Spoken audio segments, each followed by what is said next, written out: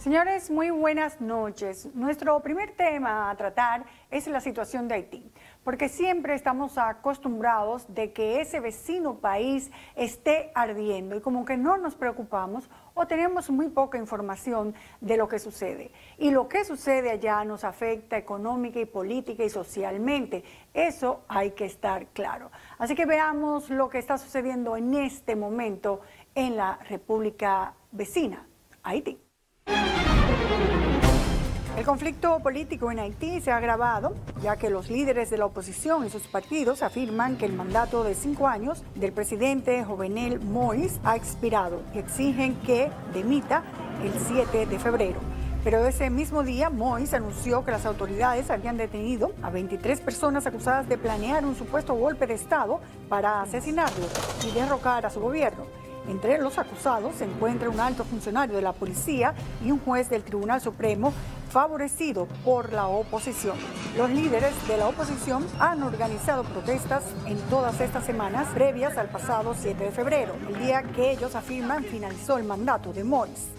La constitución de Haití permite a los presidentes un mandato de cinco años y los opositores argumentan que Moïse ya alcanzó ese límite. Sin embargo, Mois establece que a raíz de que las elecciones fueron tan caóticas que se vieron obligados a nombrar un presidente provisional por un año, por lo que él no juró su cargo hasta febrero del 2017, un año después de ser electo. Por lo tanto, entiende que su mandato finaliza en 2022. La administración del presidente estadounidense Joe Biden parece apoyar a Moïse y un portavoz del Departamento de Estado dijo recientemente que un nuevo presidente electo debería sucederle cuando su mandato termine en el 2022. Acusan al presidente Moïse de acumular poder, de gobernar por decreto, de disolver la mayoría del Parlamento y de no poder celebrarse elecciones legislativas en el 2019. La oposición nombró al juez del Tribunal Superior Joseph Messen Jean-Louis como supuesto presidente de transición de Haití, después que Moïse anunció las detenciones. Las calles normalmente congestionadas de la capital haitiana y de otros lugares permanecen en gran parte en medio de la creciente incertidumbre política de este país. Antes de seguir, lo primero que tenemos que saber cómo es la situación actual de Haití en estos momentos y para eso tenemos al periodista Alexander Joseph. Buenas noches desde Haití. ¿Cómo está Haití en este momento? Buenas noches, Haití en este momento está muy asustada porque primero no se sabe qué va a pasar porque Jovenel Moisés que ha dicho, bueno, yo voy para elecciones, me quedo un año, pero eh, el transporte comenzó a revivir en el país, los supermercados, las escuelas comenzaron a abrir sus puertas, pero la gente queda en esa pregunta, ¿qué va a pasar en Haití? Porque el gobierno haitiano eh, de mencionado ha dicho, voy para elecciones con el apoyo de la OEA, la oposición haitiana, que está dividida en 10 pedazos. O sea que esa división de la oposición haitiana está dando mucha fuerza a Jovenel Moisés porque el silencio del pueblo está contribuyendo a que Jovenel Moisés ya tenga más fuerza. Ahora bien, eh, ahora que hay, hay, mucha hambre en el país, eh, ya la gente en los días pasados tuvieron dos días de huelga huelga, esa huelga era porque ya la policía era incapaz de controlar los delincuentes con los secuestros. Fíjate que han secuestrado varias jóvenes, secuestraron pastores de iglesia pidiendo 800 mil dólares, un millón de dólares por cada persona, depende de qué clase es. Y el pueblo en este momento, que ya no sabía qué hacer, optaron para dos días de huelga. Después de la huelga, ya la oposición haitiana inició una vez más ese conteo de día para que se fuera ya Jovenel Moisés. Pero aquí se la verdad, señores, en el momento de hoy, en Haití, no se sabe qué va a pasar, porque dos presidentes, yo no sé personalmente cuál de los dos que me puede servir, porque el, uno de ellos, según su mandato, y el otro, el presidente, le, ya lo sacó del poder como, como, como juez de la Suprema Corte de Justicia. Uno sabe en el momento qué es lo que va a pasar en Haití. Alexander, ¿qué va a pasar con el pueblo haitiano? ¿Va a resurgir? ¿Va a ser igual o qué va a pasar?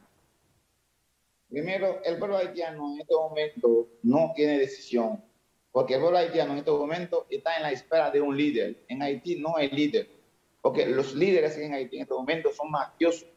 Jovenel Moisés, que está promoviendo unas, eh, una constitución moderna, el pueblo haitiano no estará en esa constitución de, constitución porque la delincuencia, eh, doña, la delincuencia, el hambre, la mala vida en Haití impide al pueblo de que votara una constitución cuando primero el nombre del presidente y muchos de ellos, Loren Lamotte, Martelly y sus secuaces de la PHTK, los nombres de ellos están todos en Petrocaribe como ladrones y por lo tanto en este caso, en este caso, Alexander, tú hablabas hace un ratito de los militares, militares que son pocos, pero que podrían tener la fortaleza como para un golpe de Estado.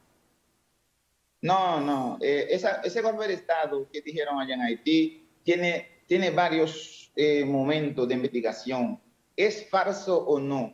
No sé, porque primero la, ese golpe de Estado, eh, como dice el gobierno, hay mucha duda sobre un golpe de Estado. Hay mucha duda y por lo tanto yo no me, yo no me adapto de hablar mentira a usted como periodista, no. Muy bien, entonces, el resultado, ¿qué va a pasar en Haití según tú puedes ver? La guerra. no, no, no, no habrá guerra, habrá una indefensión militar, porque ya el pueblo haitiano no tiene fuerza. En Haití no hay ejército. En Haití, en, Haití lo que hay es un grupo de, desgraciados, pero no hay ejército de verdad con la dominicana. Por lo tanto, yo pido a los cuatro amigos de Haití, eh, los Washington, Canadá, Francia y la Dominicana, ¿ok? Para que ellos, esos cuatro se juntan y toman, toman medidas, porque esos 10 millones de personas están sin familia. Pues muchas gracias, Alexander, por, por, lo que nos acabas de decir. Muchas gracias, Noria. Ok, también vamos a analizar este tema en el marco histórico y para eso tenemos al diplomático militar, eh, historiador, Soto Jiménez para que nos diga si esto que está sucediendo en Haití, hay alguna novedad, hay alguna diferencia con situaciones anteriores. Buenas noches. Buenas noches, eh, Nuria. Un gran placer y muy complacido de estar en tu espacio. Un saludo muy dominicanista para ti, para tu equipo y para toda tu teleaudiencia. Mira, yo pienso que novedad como tal no la hay. Y yo creo que debemos eh, enfocar el asunto en, base a la relación histórica que tenemos, nuestras relaciones. Lo que pasa en Haití siempre se refleja en la República Dominicana y viceversa.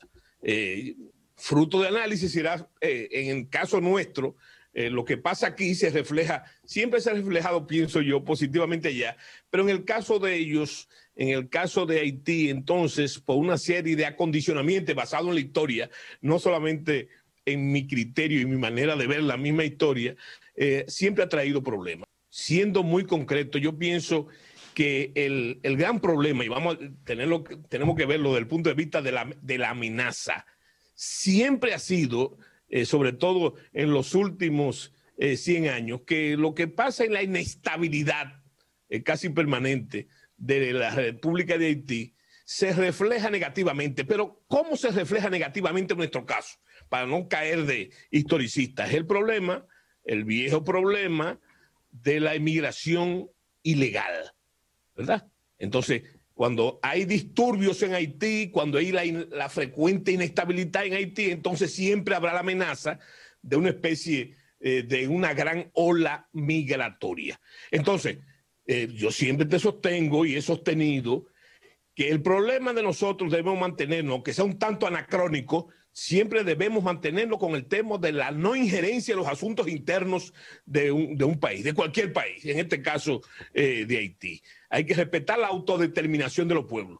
Pero en este caso tenemos el grave problema de que podría, podría reflejarse en un problema migratorio. Entonces ya es un asunto de defensa y seguridad nacional. Y las medidas son las que se están tomando precisamente el gobierno, reforzar la frontera y tomar todas las medidas para preservar nuestra integridad territorial. Ahora bien, el plano diplomático, y tú eh, hiciste alusión a mi condición, eh, no de diplomático de, de, carrera, sino circunstancial, pero sí de mis estudios geopolíticos, el gran problema es que un problema haitiano de inestabilidad política, que ha sido un sino histórico viejo, se puede convertir en una amenaza migratoria. En el término diplomático, lo que, lo que hay que hacer también lo que se está haciendo. Nosotros, no solamente en el caso de Haití, pero particularmente en el caso de Haití, nosotros podemos servir como intermediarios. ¿Cómo cree usted que se va a resolver esta situación en Haití? Según sus conocimientos pasados sobre las cosas que pasan en el mismo. Va a haber un golpe de Estado, Moy se va a quedar, eh, otro presidente vendrá. ¿Qué se, qué se? Mira, no, podemos profetizar lo que va a pasar. Ahora sí podemos eh, examinar lo que va a pasar en medida a lo que ha pasado siempre en Haití. Entonces, eh, puede haber una, un golpe de Estado, puede haber una deposición del presidente Moisés, pero también eh, ahí está el fantasma de la guerra civil. Y entonces esa guerra civil sí es un gran problema, no solamente para Haití, porque en el caso, mira, yo pienso que las guerras civiles, y nosotros tenemos experiencia sobrada, no las gana nadie, las pierde el pueblo en su unidad. Y podría entonces generar un gran flujo migratorio hacia nosotros para siempre inconveniente, del todo inconveniente. Y eso es lo que debemos preservar sin, sin de ninguna manera intervenir en los asuntos eh, internos de Haití. Entonces, para finalizar, esto es como una alerta roja. Como ha sido otras veces en el pasado, porque lo que está pasando en Haití ha pasado no solamente en la historia eh, en la historia muy pasada, sino en la historia presente y en la historia contemporánea. Pues muchas gracias por, por sus opiniones sobre este tema. Gracias. Siempre las órdenes, Nuri. Haití, un estado más que fallido, lamentablemente, y que representa nuevamente una alarma para nuestro país. Que la fuerza de la costumbre no nos haga pensar que es otra de tantas situaciones de desequilibrio político en el país vecino. Y ya que una vez alguien dijo que somos las dos alas del mismo pájaro y una de ellas está ardiendo, lo que nos puede impedir nuestro vuelo en este matrimonio sin divorcio. Ojo con esto.